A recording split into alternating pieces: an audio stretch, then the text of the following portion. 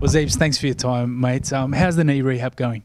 Yeah, it's going really well. Um, a little bit disappointing having to have it done, obviously, but I suppose there's some things you can't control, and um, it's coming along really well. And I think tomorrow I'll be back into full training, which is exciting. So that's full on drills, everything, no holds barred. Yeah, I'll just no contact um, for the first couple of main sessions back, but um, I think be probably next week. Hopefully, I'll be I'll be right into everything. So um, it's pretty exciting uh, to get back into full training, back around the boys. And rehab's a lonely place at the minute because there's not many other people in there, which is a good thing for us, and uh, and hopefully it stays that way as well. So you've been back running a little bit, and obviously the concern is you're dropping off in your fitness levels um, after Utah having a small um, procedure. How have you found your fitness? Yeah, not too bad. Um, I started running two weeks ago, or around about two weeks ago, um, and probably end of last week I started really testing my fitness out, and, and the times I was running wasn't too far away from, from what I was doing before. So um, I was in fairly good condition before before my operation, which is I think has helped me in really good stead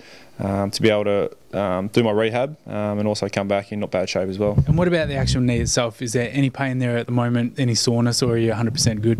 No, it's been really, really good. Um, it's coped really well with the, the step up in loads, um, and I think that um, the feeling I have now running is, is 100% better than what I had pre-op. So I'm, I'm quite happy I got it done, and um, it's uh, it's coming along really well. And as I said before, it's it's really exciting for me to get back out there. Being on the sidelines, you've obviously had time to watch um, some of the progression as some of the guys. There's been a lot of talk about Ben Cunnington at the moment. How have you seen his progression? He's had a really, really strong pre-season, which is uh, which is pleasing for Ben and, and all the other midfielders as well, and um, and for all North Melbourne fans as well. So um, he's at training, he's very hard to touch. Uh, he's got a very nice side step and he, he's growing in confidence every session, um, which is really pleasing to see considering he had um, such a good um, second half of the year, second half of the year last year, um, and and to be able to put that into a pre-season and, and, and run his best times. I think he's run in his pre-season and as well as um, competing really well in, in all the competitive stuff and that's what he's he's born to do and uh, really looking forward to seeing him in the NAB Cup and, and round one.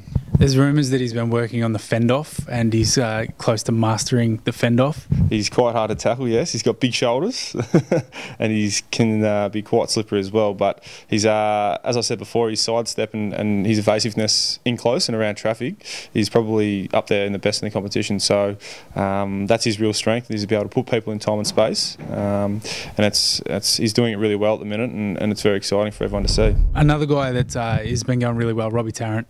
Yeah, Big Taz. He's uh, he's a he's a monster of a man at the minute. Um, he's really really strong and he's he's really really fit as well and uh, moves around the, the track with a lot of confidence. Um, and he's a bit like Hunters in a way that last year was sort of a bit of a breakout year. Um, he grew in confidence uh, throughout each game and, and I think that he's brought that into this pre-season right from the very start. And each session he goes out onto the track, um, he just monsters his defenders and, and his work rate is second to none as well and hits up hard and, and takes some really good marks. So um, it's going to be really exciting um, watching him in the pre-season as well as in coming into round one and, and see what he can get up to.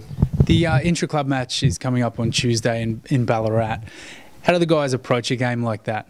It's a difficult one. I mean, everyone's jumping into their skin to be able to, to get out there and play. Um, but at the same time, you are playing against your teammates, and um, nobody really wants to get hurt in, a, in an intra club where it sort of doesn't count for much. But in saying that, it is a full full fledged game, and, um, no one shirks it, and everyone goes in pretty hard. And um, and I think that's the exciting part about the pre-season is uh, you do all this tra training and hard work, and, and the intra club against your mates is, is the first opportunity you get to put all the work you've done over the pre-season into action. And I think uh, all the boys are really excited for it, um, and hopefully no one gets injured, and, and hopefully um, it holds us in good stead for the round one NAB Cup. You've been in the system a little while now. Um, what are your expectations on a personal level? This year, um, I'd just like to keep improving. Um, last year was a little bit inconsistent on my behalf. I, I thought that um, some games I was was okay, and then other games I drop off a little bit, which is a little bit frustrating. So um, this year, my one of my main focuses is just to be really consistent week in week out, um, and to be able to spend a bit more time on the ground as well. I've sort of been working towards that over the last four to five years, and if I can do those two things, and hopefully that can help to the team success. Knee issue aside, have you been running um, PBs and, and pushing bigger weights in the gym and all that sort of stuff as well? Yeah, I suppose every footballer says this every year, but um, it's the best I've felt since I've been at the club and um, running as well as I have before and, and, lifting weights as heavy as I have before as well. So, um, I mean, it, it, all counts for nothing unless you put it into practice in round one. So, um, I'm really looking forward to the opportunity to get out there and um, sooner rather than later and, and piss pre-season off because it's it's a bit hard for me and a bit hard for everyone else. So, it'd be exciting to get out there and, and start playing footy.